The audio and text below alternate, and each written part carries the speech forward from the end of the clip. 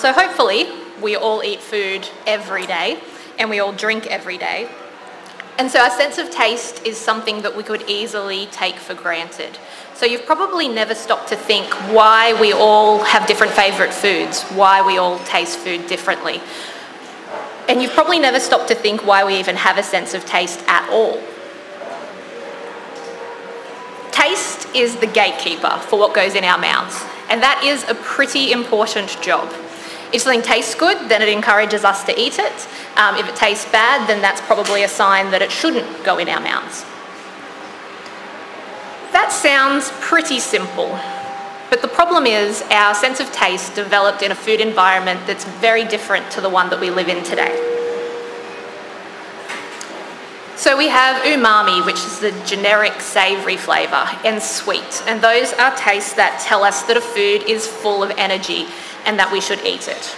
It makes sense that we want to eat foods that are full of energy because if something's full of energy, that means when food isn't available, we'll have an energy store and that's going to help us survive. So that's an evolutionary advantage. Also salt. We like the taste of a little bit of salt because salt is important for all our bodily functions. We're basically a, a seawater organism.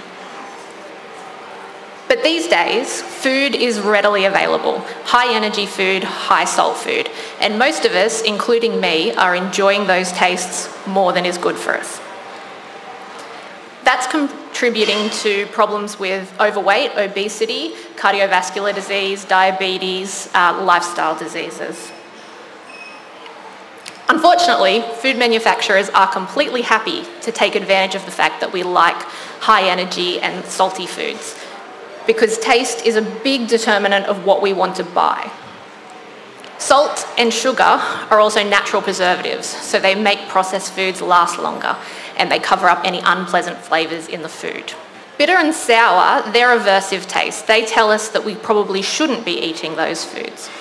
Spoilt foods are sour, um, and poisons, poisonous plants, are generally bitter. It's a really unfortunate quirk of coevolution that the healthier a plant is, the more bitter and poisonous it's going to taste. Because the foods that are good for us in small amounts uh, would kill us if we actually had them in too high amounts. Again, the food industry likes to exploit this and breed foods uh, that are going to be lower in these healthy bitter compounds and higher in the, the sweet compounds. So think about the difference between your uh, sweet corn and your regular corn. Makes it tastier, makes you more likely to buy it, but it's not really doing us any favours in the long term because it's giving us less of the potentially healthy bitter compounds and more of the sugars. So some of us taste uh, sugar more acutely than others. Some of us have a sweet tooth and like sweet foods.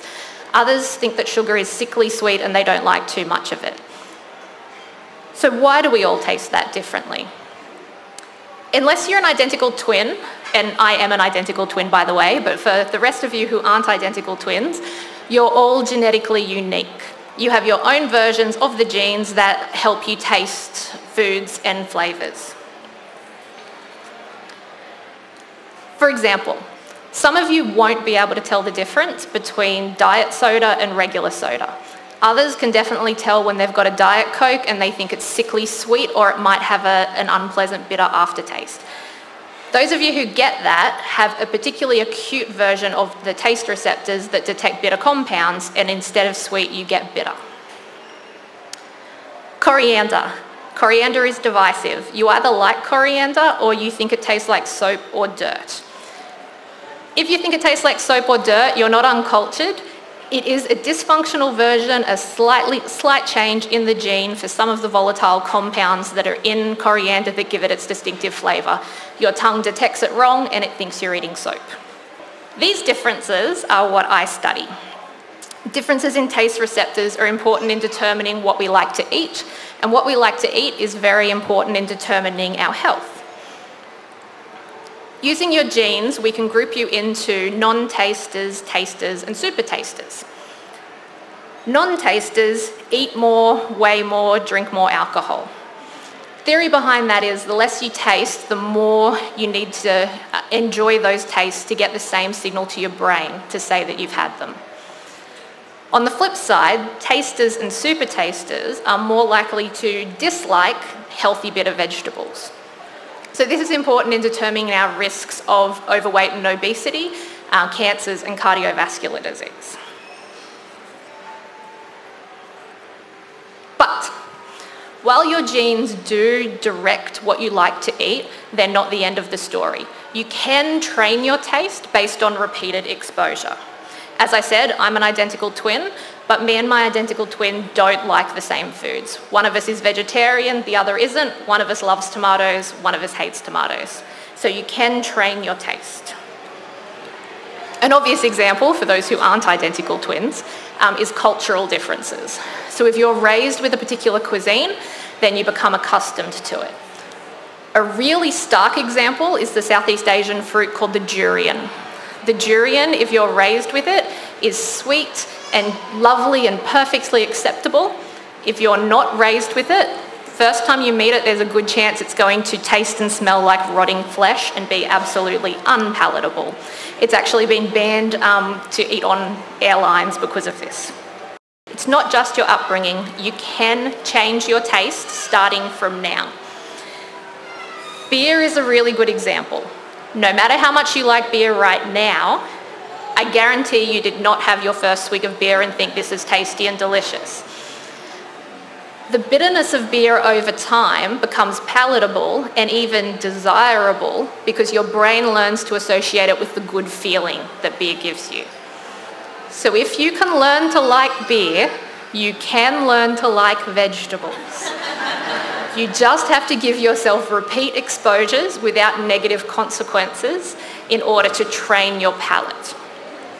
If you do need to get more veggies in your diet, and 95% of you do need to get more veggies in your diet, try adding salt or butter to your vegetables because that's going to block the bitter flavours that make them unpleasant. Over time, you can take the salt and the fat out and still enjoy that taste so you can work your way to vegetables slowly. The really cool thing is this training starts well before you realize it. It actually starts in the womb.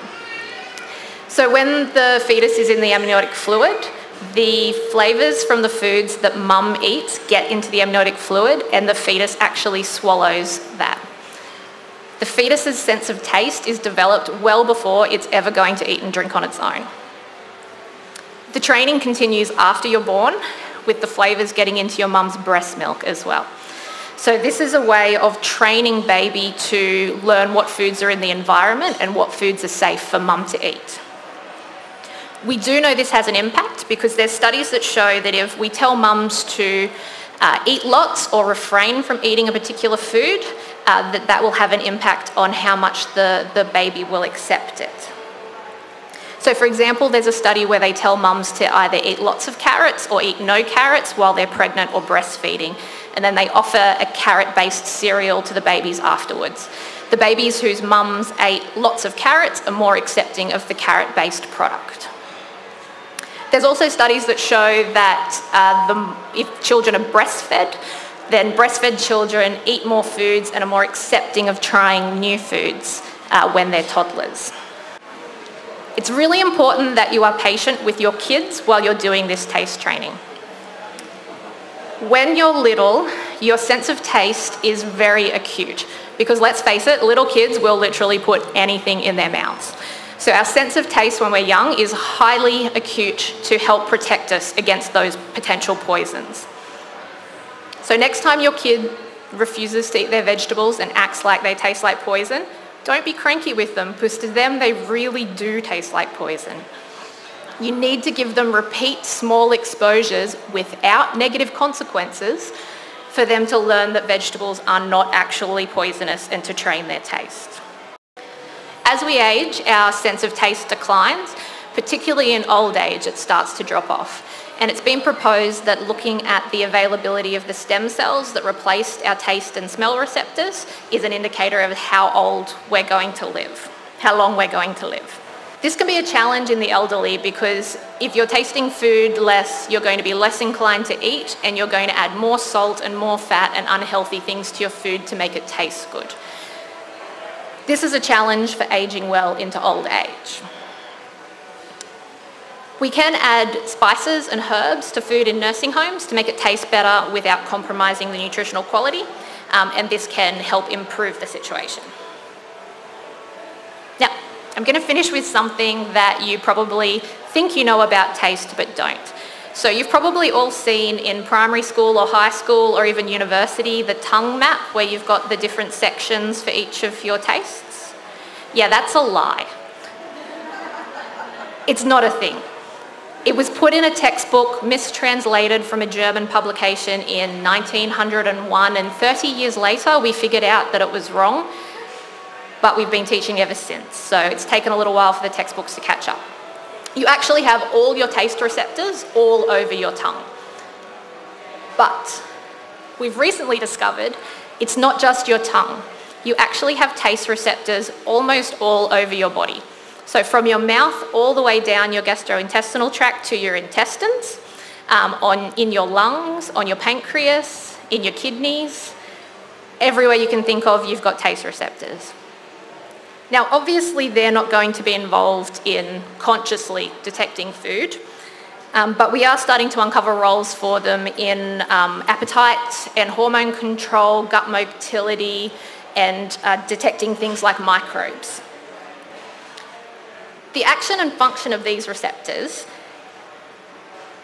and their interactions with our diet and our environment is what I study, and that's the new wave of taste research. This field could shed some light on some very complex health conditions like cardiovascular disease, diabetes, obesity, cancer, all the big problems of the world, and hopefully offer some treatment strategies. We might be able to design products that target those receptors and either block them or artificially stimulate them, um, or we could give people dietary advice that's specific to their taste genes. So, next time you eat, or next time you're judging someone for what they like to eat, I really hope you stop and think about why we taste and why we all taste differently